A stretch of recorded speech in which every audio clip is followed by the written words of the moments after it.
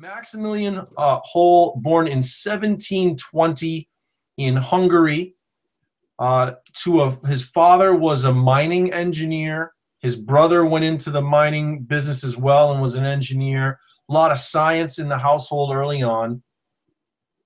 He uh, ends up studying philosophy, astronomy, mathematics, and theology. Smart guy. Mm-hmm. And devotes most of his career. He lived to be about, I think he lived to be 72, which, you know, back then, that was pretty old. Yeah. Um, he, uh, he devotes most of his life to his faith as a Jesuit. He was a, he was a Jesuit priest and to working mostly on astronomy. He um, was widely acclaimed as a scientist, was asked to do um, astronomical charting uh, different projects for the King of England, the King of Denmark, um, and uh, some other organizations. Um, but what a lot of people know, so most people think of him as this scientist guy. They named a crater on the moon after him, stuff like that. He had this little side project. And in this side project, he was interested in how magnetism could affect the body. And so he, on the side, would do these experiments and um, he would study uh, magnetic uh, force in, in the use of medicine.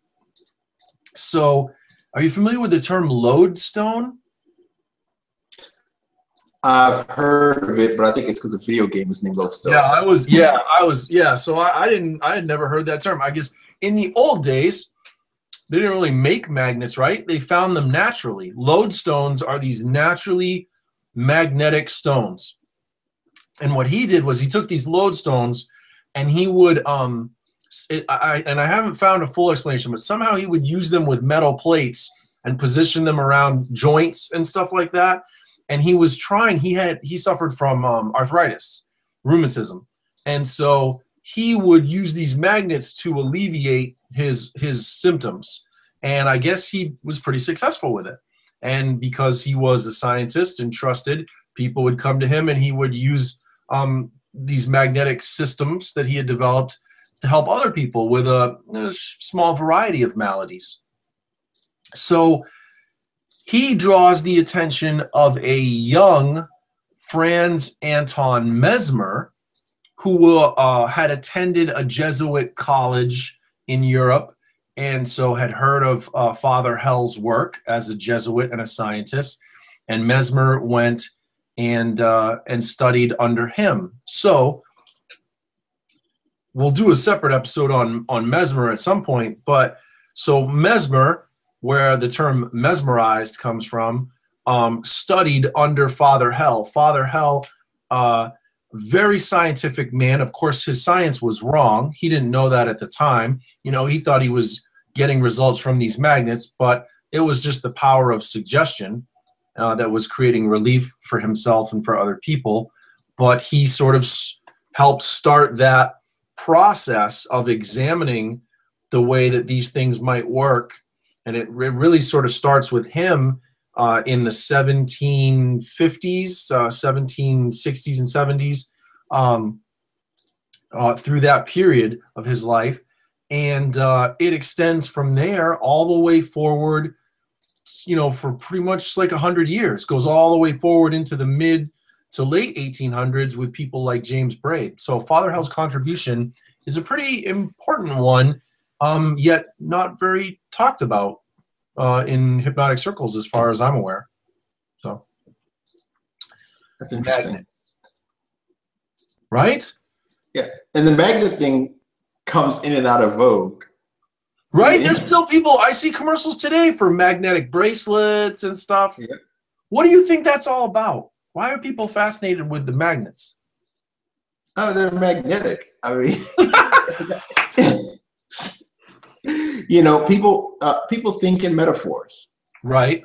and so if you give someone the concept that something is magnetic, they're going to think generally in it's an attractive force. They'll think that it's a gravitational force, that it's it's pulling things. Uh, from there, even your scientific minded people will be like, well, my you know my blood cells have a charge to them. My DNA is negative and whatever. And you know, people's imaginations sometimes get fuzzy, gets fuzzy around the edges. You know.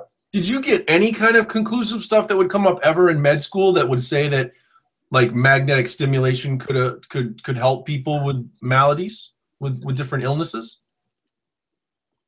Uh, Because to me, it's not so much. trans- of a- Like, magnetic stimulation. We do do TMS, right? but that's a whole lot of magnet. Yeah. That's not, that's not, that's not a lodestone. That's SWAP. You know. and you know, you you think about it. Uh, electroconvulsive therapy works, and and e- which you know, electricity and magnetism are sort of like complementary forces. Uh, and EKG, not EKGs, uh, cardioconversion works. You know, you you apply enough electric uh, shock to someone at the right places, you're going to get your results. yeah. Yeah. Um, and I think there's certain things like you think about uh, even fMRIs, you know, we're, we're in fact lining up the water molecules and, you know, watching that. It's just when you take the analogy, That's a huge magnet, though. yeah, man. Right. yeah, yeah, it's not no lodestone, man. Yeah.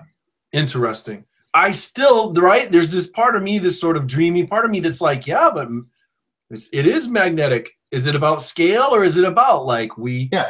You know, Yeah, I do it. I do it too. I I wonder if maybe they were just onto something and they didn't know how to properly explain it, even if it was just a tiny little version of it. I can't help but wonder. yeah, that's the power of suggestion, dude. Right? That's the power of suggestion right there. That's how we're gonna wrap it up. We're gonna end it right there.